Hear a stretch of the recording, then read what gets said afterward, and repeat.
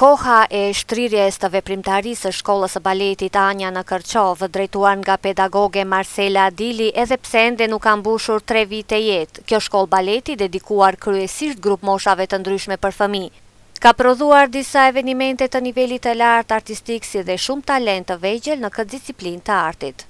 Edhe spektakli i radhës që u mbajt në mesjavë nga shkolla e baletit Anja DNM dëshmoi qartë rritjen e nivelit artistik të performancës që kishin në skenën e Pallatit të Kulturës fëmijët që morën pjesë në koncertin recital koreografik Liqeni i Mjellmave, ku paraqitja e tyre skenike në disa disiplina, si në atë klasik, modern, belly dance e të kërcimit popullor, Te spektatorët të cilët ishin në masë të madhe prezentë në sallë përcollën emocione të mëdha përgjatë gjithë shfaqjes.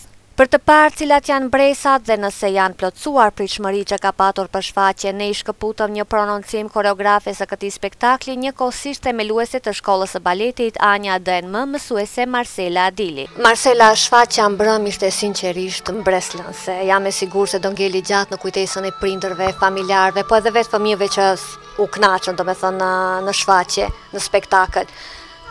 ë i realizove pritshmëritë edhe sa është e vështirë të punohet me grupmosha të ndryshme sepse ti punon vetë me ato. Po. ë vërtet, ke të drejtë, të falënderoj, ishte një shfaqje e mrekullueshme. Patjetër që jo vetëm i realizova, po dhe i tejkalova ato që kisha në mendje, i realizova të gjitha pritshmëritë, sigurisht është e vështirë të punosh, Ishte një shfaqje goxha e madhe. Trupa ishte e përbërë prej afro 50 vetash. Grupmoshat ishin të ndryshme dhe disiplinat, karakteret e vallëzimeve ishin të ndryshme. Më të vështirë e kam pasur me grupin e vogël të vallëzimit, sepse mosha minimale e tyre ishte është 4 vjeç. Megjithatë u kënaqa sepse dhuruam një spektakël plot ngjyra. Grupi i vogël i vallëzimit ekzekutoi tre pjesë, balet klasik, si mjellma të vogla, belly dance edhe një ushtrim të karakterit fëmijëror, një ushtrim me rosakë. Për të kaluar në grupin e dytë që është një moshë relativisht më e mirë, më e vëmendshme, me atë u paraqitëm me gjashtë pjesë, vals, kishte një kërcim skocez, theksoj belly dance, ka pasur këtë vit. Kishim edhe këngë që i vesha me koreografi, ato të natyrës patriotike, duhet të theksoj vallen çame, ose me grupin e madh, neve ekzekutuam një këngë me motive arbëreshe, Moj e bukura More. Plus edhe nuk munguan kërcimet hip-hop, Kishim edhe të ftuar vajza dhe djem që kanë janë nga Kërçova por që jetojnë në Shkup. Mendoj që ishte një shfaqje mbresëlënëse.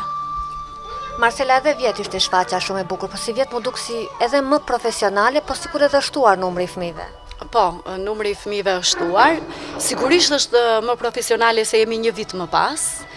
Puna ime në fakt këtë vit ka qenë shumë e përqendruar, ka pasur masivitet, sidomos grupi i vogël të nxjerrësh 21 vajza në skenë nuk është kollaj.